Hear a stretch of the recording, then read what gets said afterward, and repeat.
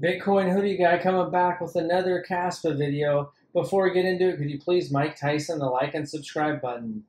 All right, well, today is a travel day. Flew down to Florida. Got an exciting event in a few days, but right now Kaspa is 11 cents, and you can see that's still about 20% right around there for the, the Rust nodes. 237 petahashes, so that's 230 quadrillion calculations a second. You can see the market has went back up. Bitcoin did hit 64, but it's pulled back.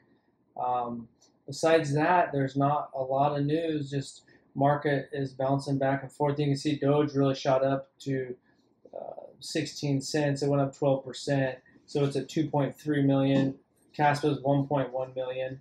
And when you look at the petahashes, uh, you know it's doing a, it's got a higher um, hash rate than Dogecoin so it's exciting. There's a few other projects that have a hash rate that is larger, but uh, the only one that's larger and has a larger market cap is Bitcoin. So I think eventually Kaspa will slide back into that number, number two spot and the mining revenue generated. And I think the hash rate's going to keep growing because when you zoom out, the hash rate just keeps growing. And it was 50 petahashes when I really started making Kaspa videos back in October. So I think it's bullish times.